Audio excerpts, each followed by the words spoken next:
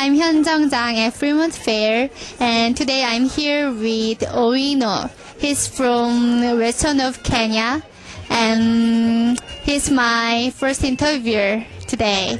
And I really liked his design and his painting is really beautiful, so that's why I choose him my first interviewer. Hi.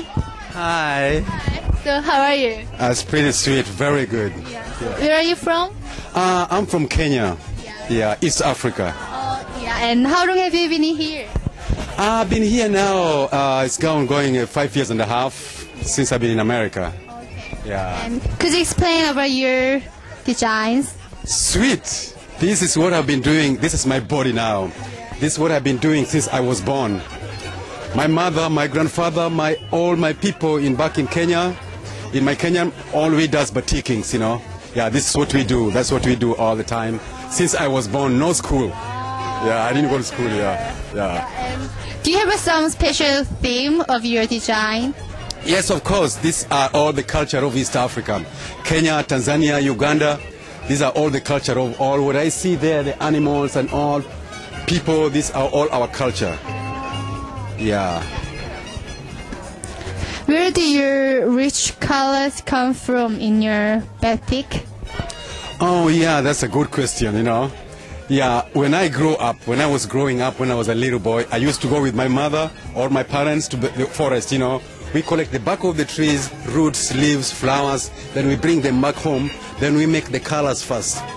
So right now, since I'm in America now, the trees from here and the trees back in Africa are so different. So I cannot make the colors here. Furthermore, this is America. If you go for somebody's trees, you're gonna go to jail. I don't wanna go to jail.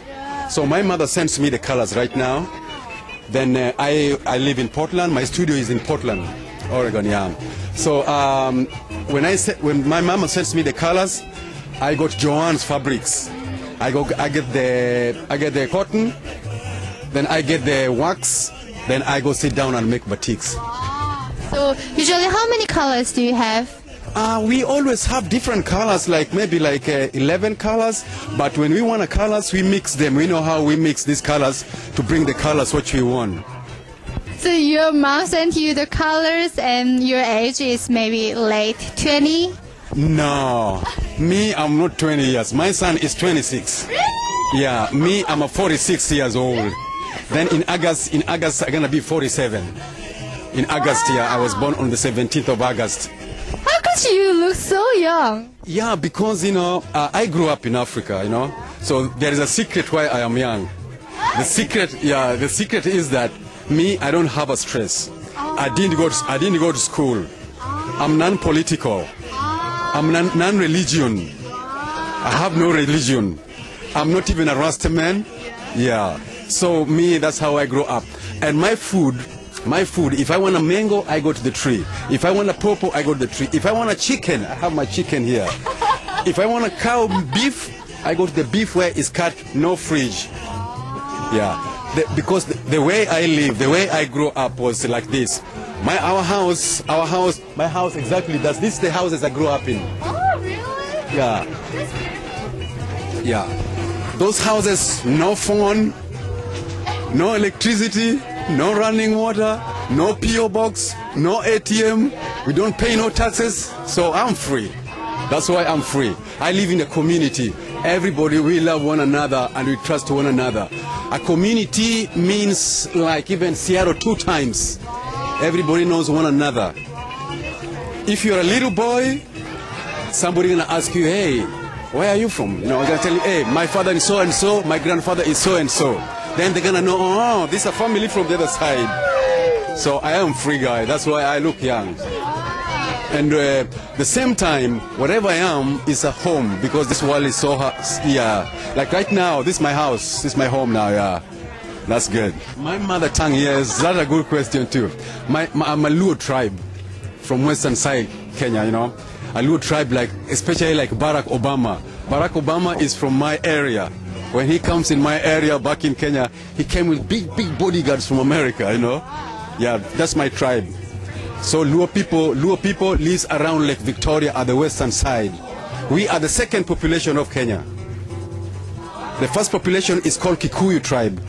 Then the second population is called Luo tribe. Yeah, from Kenya. So could you sing a song in your mother tongue? Oh, that's sweet. Okay, I'm gonna sing you love song. Okay. Love song, which means it's a song for godly song, no? Because we live in love, you know. If you live in love, that's godly. So let me sing you a song now, okay? Okay. Yeah. Hera, hera madonje polo, wanduto wadwaro donje polo, hera maduong' e kinde duto. Asante sana. Yes, I. Do you have a website? Yes, I have a website now. The website, I'm now trying to make a website because, um, you know, uh, now I'm learning business because when I was in Africa, uh, I was an artist. So when I come in America here, this is now another business. So I'm learning business. Yeah, my website is uh, uh, www.cowinobatics.com. Well, uh, I say thank you so much, so much, very much. What's your name again? Sihanza. What about your name, brother? Jack. Jack, yeah. Yeah, I just want to tell you that I say thank you for you for interviewing me, you know. This was really a good interview, so much, you know. And uh, when I say with my Kiswahili word, I'm going to say asante sana. Asante sana. akuna matara ya. And also I'm going to tell you maisha marefu. Maisha marefu means long life for everyone, yeah. Thank you so much, brother. I wish you good times.